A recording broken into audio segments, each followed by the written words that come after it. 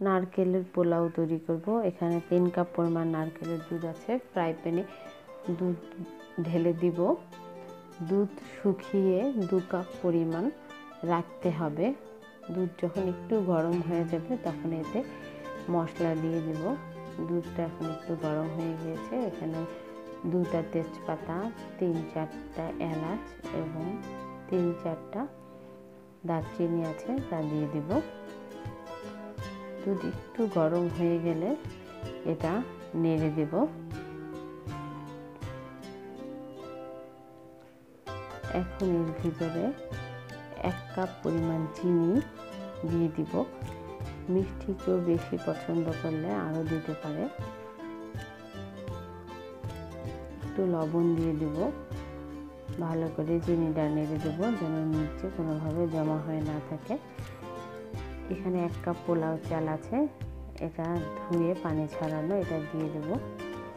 দুধ শুকিয়ে প্রায় দু কাপই হয়ে গিয়েছে।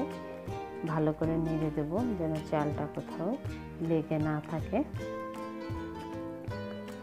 একটু আঁচ কমিয়ে ঢাকনা দিয়ে ঢেকে পাঁচ মিনিটের মতন এটা রান্না করতে হবে, যেন নিচে না লেগে থাকে। পাঁচ মিনিট হয়ে গিয়েছে। দুধও শুকিয়ে গিয়েছে। চালটা প্রায় আধা সিদ্ধর মতন হয়ে গিয়েছে। ভালো করে নেড়ে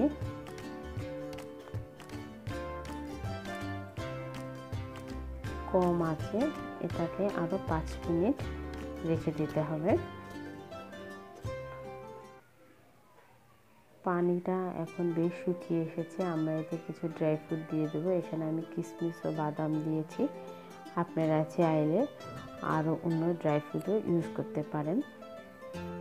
এখন এটাকে খুব ভালো করে মিক্সড করতে হবে। খুব ভালো করে মিক্সড করা হয়ে গিয়েছে।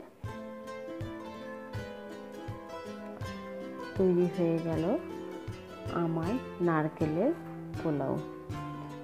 এটা আমরা সকালে, বিকালে যে কোনো সময়ে নাস্তা হিসেবে পরিবেশন করতে পারি।